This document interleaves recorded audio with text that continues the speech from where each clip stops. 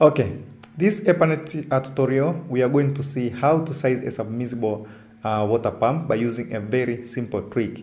Actually, this is going to save you a lot of time, especially when you are dealing with water supply network design or sizing water pumps by using EPANET software. And in case you are new here, my name is Engineer Lodrick, and this is Hydroinformatics Academy, a place where we, we discuss about technologies related to irrigation and water supply. Not only that, I upload new EPANET tutorial once or twice a week. So if you're interested, just subscribe, turn on notification so as you don't miss any uploaded video. That being said, I'll see you in the next part of the video.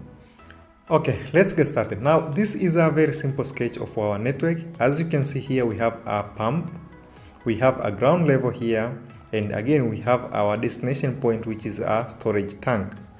Not only that, our pump is supposed to deliver 5 liters per second, and it is installed at a depth of 50 meters from the ground. As you can see here, our ground elevation level is 150 meters, and a place where our pump is installed, elevation level is 100 of course you take 150 minus uh, 50 this is what you uh, remain with. And not only that we have another point here which is 150 meters above the sea level of course and our our storage tank is located at elevation of 200 meters remember we are supposed to extract 5 liters per second from this point here from our aquifer or from boa, from borehole all the way to this storage tank here.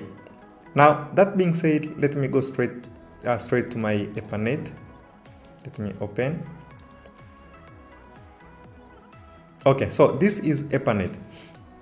Now, conventionally, we are when we want to uh, size a pump in EPANET or when when uh, when we want to work with pumps in EPANET, we normally use a combination of reservoir and the pump.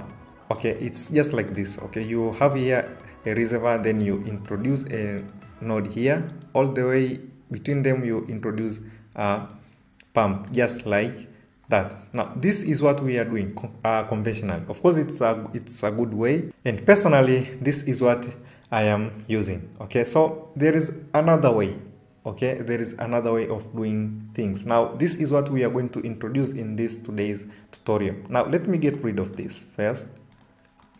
Let me get rid of this. So what we are uh, what we are going to do here is to introduce this node here. Now this node is going to act as a combination of reservoir and pump. Okay this node. Not only that so this is a place where our pump is installed. Not just that uh, we have a ground level here and this is a this point and this is a place where our, our storage tank is located. Now the next step that we, uh, the next step what we are going to do is to introduce our pipes. Okay, in EPANET pipes are links, so we are going to introduce links. So from here, from where our pump is installed, all the way to the ground, and uh, sorry, from where our pump is installed, all the way to the ground, just like that. So from the ground all the way to this point and all the way to our storage tank okay so this is exactly what we have here. This is a pump this is a ground level and all the way this is our storage tank.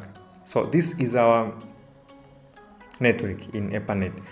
What we are going to do first we need to introduce we need to introduce here elevation. Now our pump is installed at elevation of 100 not only that ground level here is 150 of course if i'm not yeah 150 and uh, next this point here has elevation of 170 and our storage tank has elevation of 200 so for now i'll just maintain initial level and maximum level the same. Diameter just keep the same for now.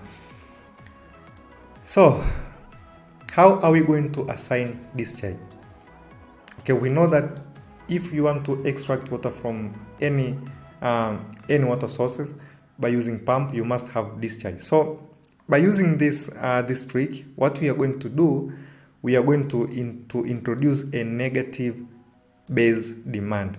Again, this is uh, this is a trick, a negative base demand. So a negative base demand, okay? That's very important. Just make sure that everything is perfect. Yeah, everything is fine. Elevation and every data is set. Now, before we proceed, let me uh, make sure that my settings are all okay. So I want to use uh, flow, per, uh, flow units liters per second and Hazen Williams. I think everything is perfect. Now from here let me right click and click option. What I need to do is to display uh, not link ID to display link value and of course to display node value. From here uh, flow arrow I need to be filled. So just click OK. Now let me run. Okay it's simple. Just let me run. Okay that's it. Now let me go here from at browser. Just go to map then click uh, just click pressure. Let's see what pressure we have as you can see here you have a very very very big values. So what we need to do is just to make sure that our uh, uh, pipes of course here you cannot have uh, this discharge here. You cannot extract this discharge here by using uh, by using a 12 uh, millimeter pipe now let me introduce a pipe. Let's say let's start with 45.2 of course this at this point normally at this point we have a very small diameter pipe. So for me i'll just use a 45.2 of course it's a 1.5 inches pipe. So at this point from pump all the way to the ground my my uh, pipe diameter is uh, 45.2 now from the ground let me introduce another pipe. Let's say okay 75 and at this point here again let me put 75 75 millimeters. And not only that the length here now from here as you can see here from here all the way to the ground is 50 meters. So we need to put here length 50 meters. And again this point here we need to introduce 150 of course that's the length that we, have, we want to use for this tutorial 50 meters not only that we need to change uh, roughness. Of course we, what uh, what we can do is just select all then group edit select pipes then select roughness. We want to shift from 100 to 140 or because we are using a plastic pipes HDP so click OK. Okay so as you can see here everything is fine. Let me run again uh, this is not visible. Let me click option. Go to, to annotation then make sure you have uh, let me put here 10 okay but we want to display here uh, flow at least flow for now. Yeah so this is what we have. Remember we are not using here a, a, combination of reservoir and pump. We are using just a node with a negative base demand just like this as as you can see here we have a discharge of 5 liters per second okay so we are taking 5 liters per second from the aquifer all the way to our storage tank that's very important now, let me do some other um, uh, modification, uh, network, um, uh, network optimizations. Now, from links, what we want to display is uh, velocity. Now, velocity, as you can see here, we have 1.3. Of course, I don't like this color. Let me put here red. So anything less than 0.5 is not acceptable and at least one let me put here one and here 1.5 anything above 1.51 uh, let's say 1.51 again not acceptable so this just put here purple sorry purple okay. Okay. So as the, uh, as you can see here we have uh, these uh, uh velocities here. And let me of course, it is acceptable, not bad, but let me check our unity head losses. As you can see here now, at this, uh, from the ground level, here, from the ground level all the way to our storage tank, uh, we have uh, a unit head losses of uh, 18 per kilometers okay 18 per kilometers 18 per, kilometers.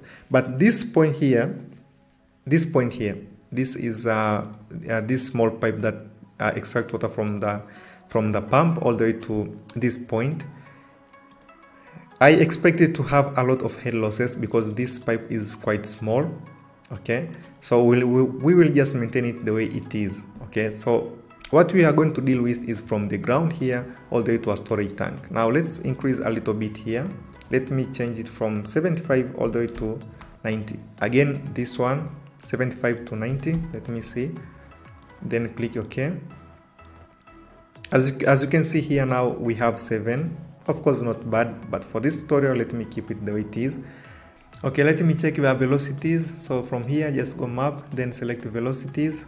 So this is the velocities. You have 0.7 and here 0.79 meters per second but at this point here we have 3 meters per second so this there is nothing we can change here because normally this pipe is very small so we'll just keep the way it is so far what we need to keep it in mind that we did not use a conventional way of using let's say a reservoir then you combine it with a pump okay so you use your reservoir as a presentation of uh, an aquifer.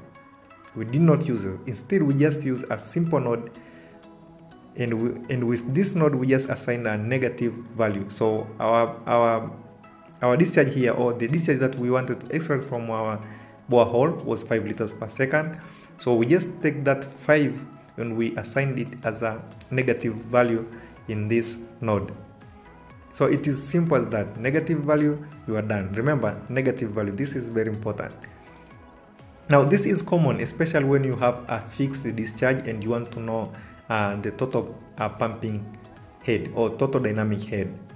So if you set here a negative value and then run, you you will get this this uh, total dynamic head. So for for my case, as I said, my pump supposed to have 5 liters per second and again total dynamic head is actually this one which is 123.31 so that being said i really encourage you to go and watch this uh, tutorial here which i which we had uh, how to size or model water pumps by using EPANET software. Of course, it's based on real projects. So I really encourage you to go and watch this tutorial. So take the knowledge that you are going to get out of, of this, uh, this uh, video, then combine it with what we were discussing today.